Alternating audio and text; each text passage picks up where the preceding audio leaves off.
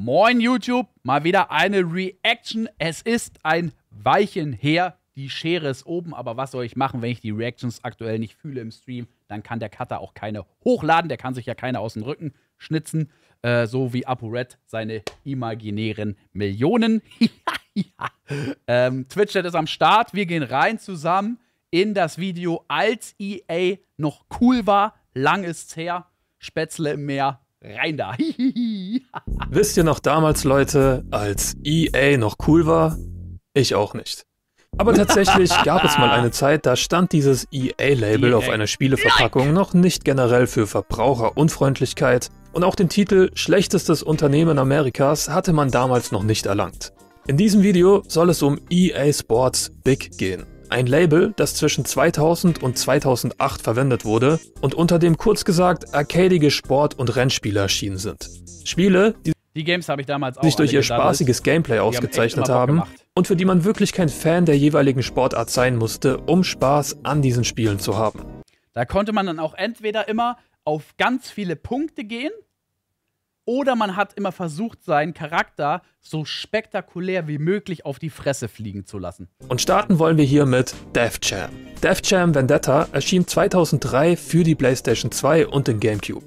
Es handelt sich dabei um ein Wrestling-Kampfspiel mit zahlreichen echten Hip-Hop-Künstlern, die als Spielfiguren zur Verfügung stehen. Rapper, die eben damals bei dem Label Def Jam unter Vertrag standen.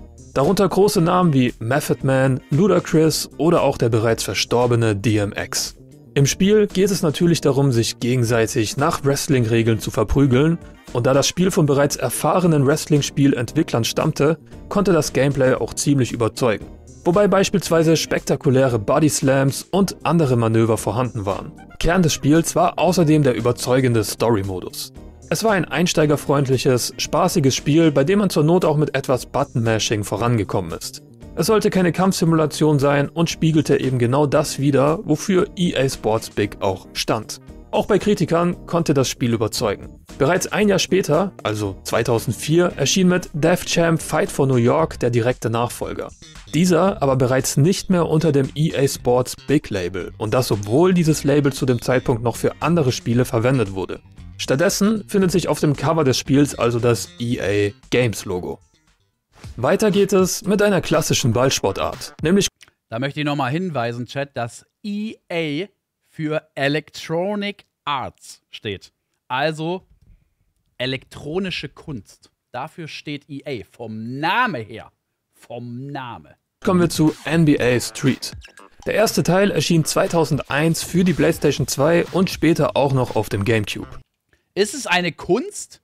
Ist es eine Kunst mit Abstand die Pay-to-Win verseuchtesten Spiele auf dem Markt zu wichsen, jedes Jahr aufs Neue kleine Fußballfans die Taschen auszunehmen, das ist schon eine Kunst. Das ist schon eine Kunstform. Vielleicht steht es dafür da. Ne? Vielleicht ist die Kunstform bei EA dafür gemeint. In diesem Spiel treten große Namen der NBA im 3 gegen 3 oder EA steht für einfach Abzocke, ja. Street Basketball gegeneinander an. Natürlich auch hier wieder in einem sehr arcadigen Stil. Wobei eben auch nicht nach den klassischen, sondern nach Straßenregeln und Punktesystem gespielt wird. Der Ball kann nicht ins Ausgehen und es gibt keine Fouls. Coole Tricks, Manöver und verschiedenste coole Art und Weisen, den Ball im Korb zu versenken. Außerdem kann man eine Trickleiste auffüllen, durch die der Gamebreaker aktiviert wird. Mit einem Spezialwurf können hierbei zusätzlich dem Gegner Punkte abgezogen werden. Besondere Regeln also mit einem spaßigen Gameplay fernab von jeder Basketball-Simulation. Die Serie war sehr beliebt und erhielt daher auch noch einige Nachfolger. Auf der PS2, die Konsolengeneration, die natürlich die Hochzeit der EA Sports Big Spiele war, erschienen mit NBA Street 2 und 3 noch zwei weitere Titel. 2005 gab es einen exklusiven Ableger für die PSP und 2007 schaffte es die Reihe mit NBA Street Homecourt sogar. Warte, 2007, was kam 2007 nochmal raus, Chat? 2007 war ein Big Gaming Jahr. Ich glaube, da kam Halo 3 und Mass Effect. Oder? Da kamen einige kranke Spiele 2007. Und MW1 auch? COD4 auch noch?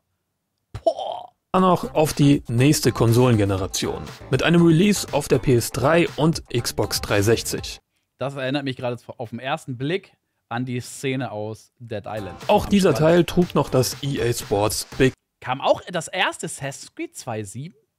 Schaut mal nach, Chat, was 2.7 Label. alles kam. Und am grundsätzlichen so Spielprinzip hatte sich auch hier nicht wirklich Jahr. etwas verändert. Allerdings wurde das Spiel etwas zugänglicher gemacht. Ich weiß auch noch, Chat, ich bin damals in den Laden reingesteppt und damals hat man nicht irgendwelche Videos oder Trailer sich im Internet angeschaut. Ich war, keine Ahnung, wie alt war ich 2007? 15, Bro. Ich bin in den Laden reingesteppt und da hast du dich überzeugen lassen, ein Spiel zu kaufen, entweder durch Freunde, die dir das Game empfohlen haben, oder vom Händler. Der Händler hat dir das Game schmackhaft gesprochen, aber auch, weil er das Game selber gespielt hat oder Feedback hatte von Leuten, die es gespielt haben.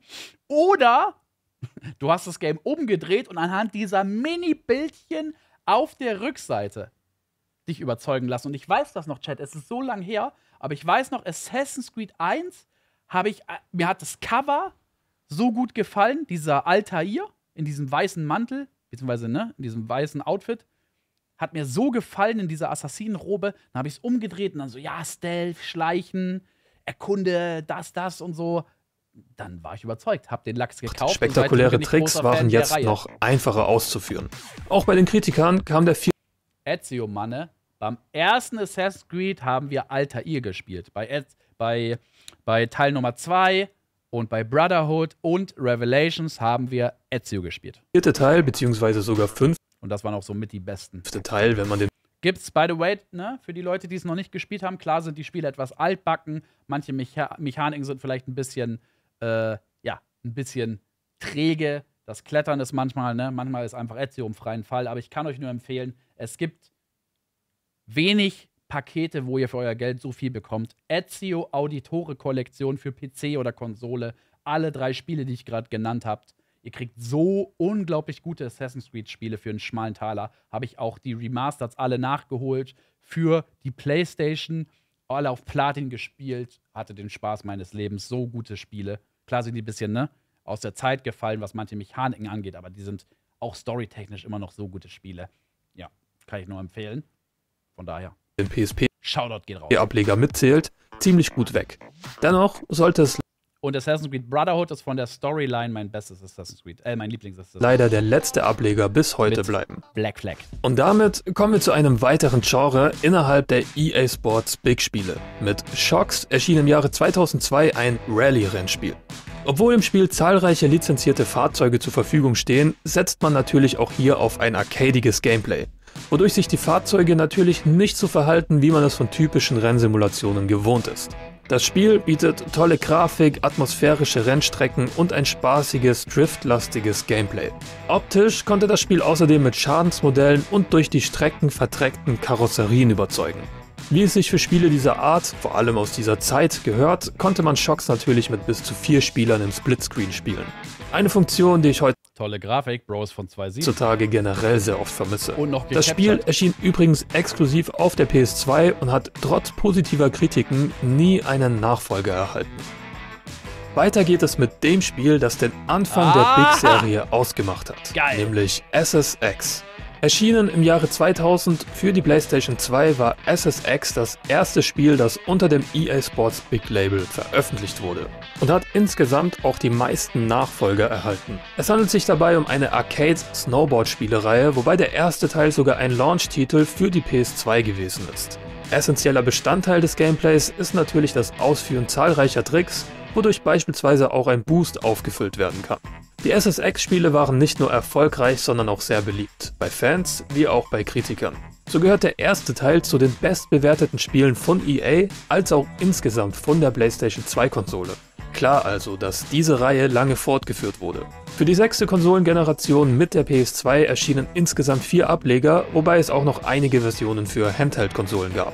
Im Jahre 2007 erschien mit SSX Blur der letzte Teil der Reihe, der unter dem Big Label veröffentlicht wurde, und zwar exklusiv auf der Nintendo Wii. Danach war es lange ruhig um die. Reihe, bis es 2012 zu einem Reboot kam.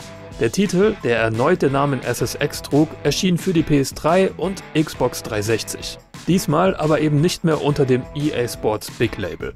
Stattdessen trug das Spiel das klassische EA Sports Logo auf dem Cover. Eigentlich als Neustart geplant, ist dieser Teil bis heute der letzte der Snowboard-Reihe geblieben. Eine der hierzulande vielleicht bekanntesten Spielereien unter dem FIFA Big Label dürfte wohl FIFA Street sein. Ein Fußballspiel, das EA parallel zu ihrer FIFA-Reihe herausbrachte, bei dem es, wie bei so vielen Spielen dieser Art, ums Tricksen geht. Der erste Teil kam 2005 für die PS2, Xbox und GameCube heraus. Man kann wohl sagen, dass wie auch bei den anderen Big Sportspielen wie NBA oder auch NFL das originale Spielprinzip etwas heruntergebrochen wird, auf einen Arcade-Stil reduziert und natürlich durch besondere und etwas unrealistische Tricks und Manöver ergänzt wird. Anstatt elf Ja, ich sehe an der Reaktion vom Chat, für viele ist, sind diese Games Nostalgie, ne? Wo halt EA noch gut war. Ist ein gutes Video. gegen 11 spielt man hier auf Ich Straßen diese- und Hallenplätzen. Diese Sportspiele habe ich alle nicht gespielt, Chat, weil ich da immer ultra Arsch war. Aber dieses SFX, das habe ich sehr viel gezockt. mit lediglich Kollegen 4 damals. gegen 4 Spielern auf dem Feld. Im Vergleich zu vielen anderen Spielen Und ich weiß noch, ich habe, glaube ich, nicht auf einer einzigen Map seine Rekorde knacken können. Der Typ war einfach zu unter dem gut. Big Label erhielt FIFA Street 1 relativ durchwachsene Wertungen und landet nur bei einem Metacritic-Score von 59 auf der PS2. Verkauft hat es sich trotzdem und 2006 folgte bereits der Nachfolger, der neben den Heimkonsolen nun auch auf dem Nintendo DS und der PSP released wurde. Weiter ging es dann auf der nächsten Konsolengeneration mit FIFA Street 3, welches für die PS2, Xbox 360 und auch für den DS erschienen ist. Im Gegensatz zu den Vorgängern entschied man sich diesmal für einen etwas comichaften Look mit deutlich verfremdeten Spielermodellen. Alle drei Teile haben recht schlechte Wertungen eingefahren. Ich war bei der Recherche ein wenig überrascht, da ich die Spiele als ziemlich beliebt und entsprechend auch als gut wahrgenommen habe. Tatsächlich erreichten Teil 2 und 3 lediglich Irgendwie finde ich das voll geil von der Aufmache, Chat, dass er die Spiele, dass er die Spiele anscheinend, ich denke, das ist selber aufgenommen, einfach als, ne, als echte Ding hat, als echte Spiele und dann die noch so unten rechts entsprechend auch als gut wahrgenommen habe. Tatsächlich erreichten? Teil 2 und 3 lediglich einen Metacritic-Score von 63 und Teil 1 war wie gesagt sogar noch etwas schlechter bewertet. Kritisiert wurde an den Spielen übrigens die KI, dass unter anderem zu viel vom Zufall abhängt und das Gameplay teilweise etwas eintönig ist. Wie auch bei anderen Reihen wagte man nach einer längeren Pause ein Reboot der Serie. 2012 erschien FIFA Street für die PS3 und Xbox 360 und nutzt die gleiche Spiele-Engine wie FIFA 12. Auch wurde es von Mitgliedern des gleichen Teams wie FIFA 12 entwickelt. Erschienen ist dieser Teil aber nicht mehr unter dem EA Sports Big Label. Die Cartoon-Optik wich einem realistischeren Look und generell fühlt sich dieses Spiel ganz anders an. Es gab wieder zahlreiche Tricks, die man ausführen konnte, diese waren aber nicht mehr ganz so abgedreht. Bei Kritikern kam man diesmal etwas besser weg. Dennoch blieb dieser Ableger der letzte FIFA Street Teil bis heute. Weg von Ballsport geht es mit Sled Storm um ein Schneemobil-Rennspiel. Der Titel kam Schneemobil? 2002 für die PS2 heraus und war der Nachfolger zum gleichnamigen PlayStation 1 Spiel, welches noch kein Big Label hatte. Arcade-Rennen werden hier mit Lufttricks kombiniert und wie so üblich für die Big-Spiele spielt das Ausführen von Tricks hier eine entscheidende Rolle. Sprünge über Schluchten, zeitsparende Abkürzungen und scharfe Kurven sind dabei Teil des Gameplays.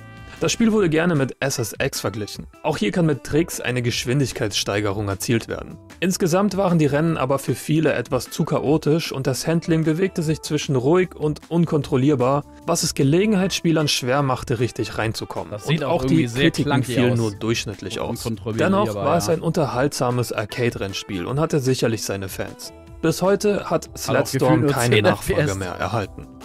Mit NFL Street brachte EA auch eine Arcade-Version ihrer berühmten Sportsimulation zum American Football heraus. Der erste Teil erschien 2004 für die PS2, Xbox und GameCube. Im Spiel treten Teams mit jeweils sieben Spielern gegeneinander an. Und wie auch bei anderen Big-Spielen spielt man zwar grob nach den klassischen Football-Regeln, wobei es keine Fouls gibt und das Gameplay damit automatisch etwas aggressiver wird. Für NFL Street wurde außerdem auch der Gamebreaker aus NBA Street übernommen, den man durch Ausführen von Style Moves erreichen kann. Mit einem Gamebreaker kann die gegnerische Verteidigung einfach durchbrochen werden und problemlos ein Touchdown erzielt werden. Der erste Teil erhielt gute Wertungen und so folgte sogar noch zu Ende des gleichen Jahres bereits der zweite Teil mit NFL Street 2, der diesmal zusätzlich auch noch auf der PSP herauskam. Im Jahre 2006 gab es noch einen dritten Ableger, dieser erschien nur noch auf den Sony-Konsolen, nämlich der PS2 und der PSP. Auch die NFL-Serie schaffte noch den Sprung auf die nächste Konsolengeneration. Und so kam 2008 NFL Tour weiterhin unter dem EA Sports Big Label für die PS3 und Xbox 360 heraus. Nachdem bereits der dritte Teil nicht mehr so gut bei den Spielern ankam, konnte Tour das Ganze nochmal unterbieten. Das Spiel erhielt überwiegend negative Kritiken, ein Grund dafür war der geringe Umfang des Spiels. Tour ist bis heute der letzte Ableger der Reihe geblieben. Weiter geht es mit einem Motocross-Rennspiel. Freakstyle erschien 2002 auf der PS2, GameCube und dem Game Boy Advance. Natürlich geht es auch in diesem Spiel darum, neben dem schnellen Fahren und als erster ins Ziel kommen, viele coole Tricks auszuführen. So gibt es auch neben den Rennmodi einen Freestyle-Spielmodus. Wobei es beim Freestylen eben darum geht, durch das Ausführen von Tricks möglichst viele Punkte zu erzielen. Ich glaube, das war so ein Game-Chat. Vielleicht einige Hasen hier im Chat werden sich erinnern, die auch noch, die auch ungefähr in meinem Alter sind. Damals hat mein Dad mich immer beim Einkaufen, also er ist einkaufen gegangen und dann hat er mich in so ähm, einem Spieleladen abgesetzt, wo man halt, also wo man Spiele kaufen kann und da gab es dann immer so Konsolen, wo man Spiele anspielen konnte. Und das war eins von den Games. Da hat man dann, was weiß ich, eine halbe, dreiviertel Stunde äh, Games gedaddelt, während dann die Eltern in Ruhe einkaufen waren. Bei den das gibt es heute auch nicht mehr. Wiederum Leider. ist es auch hier der Fall, dass mit den Tricks ein Boost geparkt, aufgefüllt genau, werden kann, was das Tricksen selbst natürlich zu einem essentiellen Bestandteil des Spiels Beste Leben, bisschen daddeln. Unter den spielbaren Charakteren befinden sich einige echte Motocross-Stars. Die Heimkonsolenversion des Spiels kam ziemlich gut an, dennoch hat auch dieses Arcade-Rennspiel nie einen Nachfolger erhalten. Und das waren sie, die teilweise fast schon legendären EA Sports Big-Spiele. Angefangen im Jahre 2000 mit SSX und beendet im Jahre 2008 mit FIFA Street 3, welches das letzte Spiel war, das unter dem Label erschienen ist. Ich persönlich war immer großer Fan dieser Art von Spielen. Für mich haben sie gerade die PlayStation 2-Ära stark geprägt. Dass Spieleserien mit den Jahren wieder vom Markt verschwinden, ist sehr schade, aber für uns Spieler mittlerweile auch ziemlich gewohnt.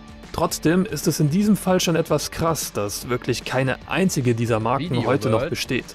Ja, es gab also auch nach dem Ende des EA Sports Big Labels noch Nachfolger bzw. Reboots einige dieser Spiele. Dennoch kamen auch hier die letzten Teile um 2012 heraus, eben mit SSX oder FIFA Street. Auch wurde das Big Label um 2008 noch durch EA Sports Freestyle ersetzt, worunter allerdings lediglich drei Spiele erschienen sind. Hm. Vermutlich wäre es heutzutage schwierig, an die damaligen Erfolge anzuknüpfen, wobei auch klar ist, dass Publisher damals noch etwas mehr Risikobereitschaft hatten. Beziehungsweise waren die Entwicklungskosten damals natürlich auch noch nicht so hoch wie heute. Ich persönlich würde mir einige dieser Spiele zurückwünschen, aber wie ist es bei euch? Welche Games der Serie habt ihr früher gespielt und wovon könntet ihr euch einen neuen Ableger vorstellen? Schreibt das gerne mal in die Kommentare. War wahrscheinlich für sehr viele Zuschauer ein richtiges Nostalgie-Video, was diese alten PS2-Games angeht. Grüße gehen auf jeden Fall raus. Wo EA und EA Sports noch gut war.